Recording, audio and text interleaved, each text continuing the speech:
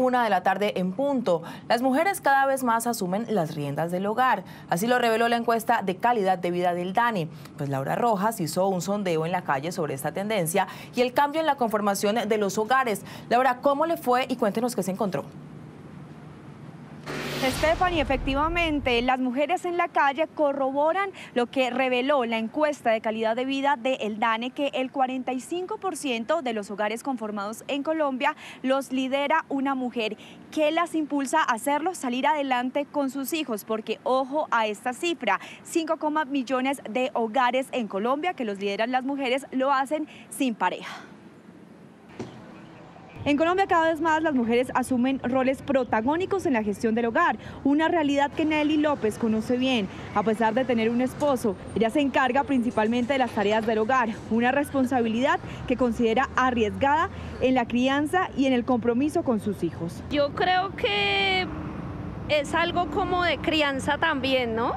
De pues hasta mi generación todavía somos unas personas muy responsables y por decir uno acá, o sea, los hijos lo obligan a uno a salir y uno no le puede decir a los hijos no hay. A esta situación se refleja la historia, como la de Yadi Ortiz, quien forma parte de los 8,1 millones de hogares liderados por mujeres en el país.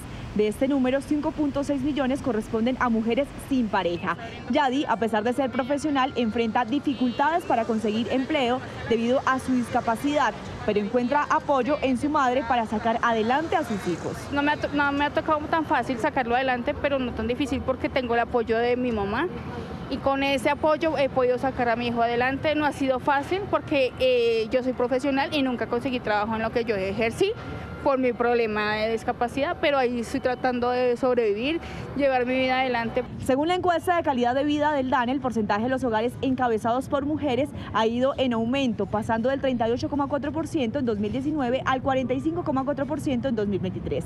Esta tendencia se relaciona con la creciente destitucionalidad del matrimonio tradicional y el crecimiento de hogares unipersonales, donde las mujeres tienen un papel predominante, como explica Carlos Charri, director del doctorado de estudios Sociales de la Universidad del Rosario. El hecho de que en Colombia se reconozca la unión marital, de hecho, entre dos personas del mismo sexo, ha, llevado a que haya también un mayor eh, número de hogares compuestos por dos mujeres el hecho de que eh, demográficamente en Colombia eh, el tipo de hogar que más esté creciendo es el hogar unipersonal.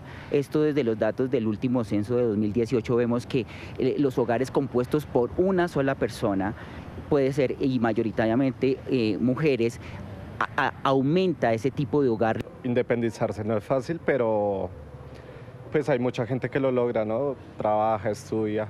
En 2023 se registraron 3,3 millones de hogares conformados por una sola persona. En ciudades como Bogotá, esta tendencia es aún más pronunciada, liderando con 700 mil hogares unipersonales.